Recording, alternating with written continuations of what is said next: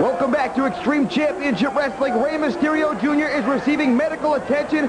What an interesting evening it's been here in New York City. Woman who helped return Ric Flair to prominence in WCW tried to return to ECW tonight but was promptly shipped back to Atlanta by 2 Cold Scorpio. Stevie Richards, sensing some available airtime, announced to the world that he is suing Missy Hyatt for sexual harassment. Up your dictionary to the word irony. So Missy now has a common enemy with the Sandman in Stevie Richards and his mentor, his idol, his master Raven. Remember, Raven defeated the Sandman for the ECW World Heavyweight title. Will Missy lead the Sandman back to the World Heavyweight Championship against Raven and that clueless punt, Stevie Richards?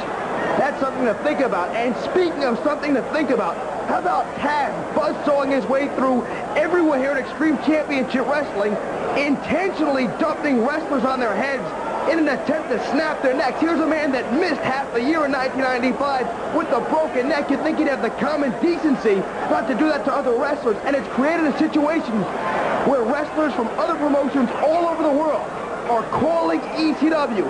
Everyone is saying that Taz's actions are offensive to the wrestling industry. And quite frankly, I would have to agree with that.